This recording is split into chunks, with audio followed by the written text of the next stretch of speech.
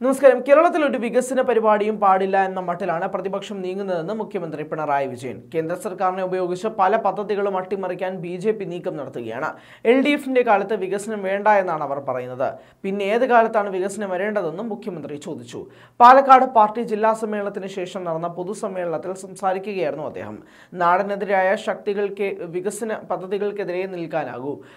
ഞങ്ങൾക്ക് അനാവശ്യ ദുർവാശിയില്ല. മറിച്ച് നാട് മുന്നോട്ട് പോകണമെന്ന തീരുമാനം മാത്രമാണ്. വികസന പദ്ധതികളുമായി ബന്ധപ്പെട്ട് സ്ഥലം ഏറ്റെടുക്കലിലെ പ്രശ്നങ്ങൾ ചർച്ച ചെയ്യാവുന്നതാണ്. എന്നാൽ വികസന പദ്ധതികളെ ഉമ്മാക്കി കാട്ടി വിരട്ടുന്നവരോട് ഒന്നേ പറയാനുള്ളൂ. വിരട്ടൽ ഇങ്ങോട്ട് വേണ്ട. നാട് മുന്നോട്ട് പോകണമെന്നും മുഖ്യമന്ത്രി കൂട്ടിച്ചേർത്തു.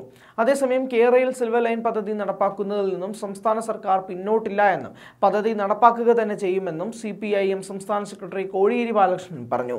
സി പി ഐ എം ജില്ലാ സമ്മേളനത്തിന്റെ പൊതുസമ്മേളനം ഇ കാസിം നഗറിൽ ഉദ്ഘാടനം ചെയ്യുകയായിരുന്നു അദ്ദേഹം. കേരളത്തിന്റെ ഭാവി വികസനം തടസ്സപ്പെടുത്താനുള്ള രാഷ്ട്രീയ എതിർപ്പുകൾ അംഗീകരിക്കില്ല. എതിർപ്പുള്ളവരോട് സംസാരിക്കാൻ സർക്കാർ തയ്യാറാണ്. സംശയങ്ങൾ ദൂരീകരിക്കാനും നടപടിയുണ്ടാവും. വസ്തു നഷ്ടപ്പെടുന്നവരുടെ വികാരം മാനിക്കുന്നു. അവരോട് കാര്യങ്ങൾ വിശദീകരിക്കാനും അവർക്ക് മതിയായ നഷ്ടപരിഹാരവും പുനരധിവാസവും ഉറപ്പാക്കാനും സർക്കാർ തയ്യാറാണ്. മുഖ്യമന്ത്രിയും മന്ത്രിമാരും പങ്കെടുത്ത യോഗങ്ങൾ വിളിക്കും. ഇക്കാര്യത്തിൽ എൽ ഡി എഫ് സർക്കാർ ഉത്തരവാദിത്വം നിറവേറ്റും. കേരളത്തിൽ അതിവേഗ റെയിൽപാത എന്ന പദ്ധതി കൊണ്ടുവന്നത് യു ഡി എഫ് സർക്കാരാണ്. എന്നാൽ പദ്ധതി എങ്ങുമെത്തിയില്ല ഇപ്പോൾ എൽ ഡി എഫ് സർക്കാർ നടപ്പാക്കുന്നത് അർദ്ധ അതിവേഗ പാതയാണ്. ഇതിന് യു ഡി എഫ് സർക്കാർ നീക്കിവെച്ച തുകയുടെ പകുതി മതിയാകും. സിൽവർ ലൈൻ നടപ്പാക്കാൻ കേരളം ഉൾപ്പെടെ എട്ട് സംസ്ഥാനങ്ങൾ തയ്യാറായി മുന്നോട്ട് വന്നു. അവിടങ്ങളിൽ ഒന്നും എതിർപ്പുമായി കോൺഗ്രസും ബി ജെ പിയും രംഗത്ത് വന്നിട്ടില്ല. കേരളത്തിൽ മാത്രമാണ് വികസനത്തോട് അവരുടെ എതിർപ്പ്. കോൺഗ്രസിന്റെ എതിർപ്പ് ഇത് പിണറായി വിജയൻ സർക്കാർ നടപ്പാക്കാൻ പാടില്ല എന്നത് മാത്രമാണ്.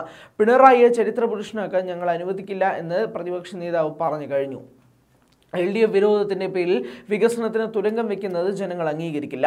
ഇത്തരം എതിർപ്പുകൾ കണ്ട് പിന്മാറിയിരുന്നെങ്കിൽ ഗെയിൽ ഗ്യാസ് പദ്ധതിയും ദേശീയപാത വികസനവും ഉൾപ്പെടെ നടപ്പാവില്ലായിരുന്നുവെന്നും കോടിയേരി പറഞ്ഞു.